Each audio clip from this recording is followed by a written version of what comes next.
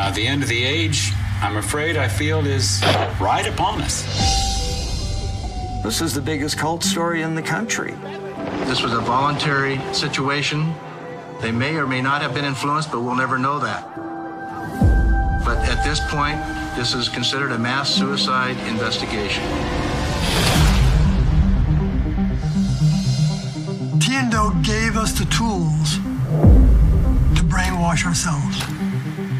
Literally wash out our humanness from our brains. The basic idea of Heaven's Gate was that you would chemically and biologically transform your body, becoming a next level alien, and then you would physically get on board the UFO, which would sail off into heaven. It says Heaven's Gate away team. 39 to beam up.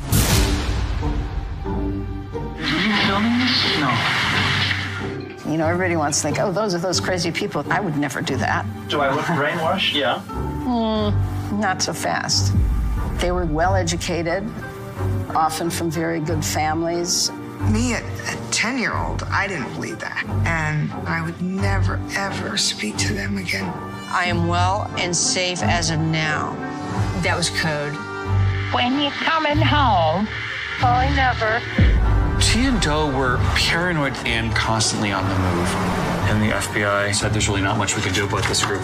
Do said, we're going to proceed doing the castration. Who's going to go first?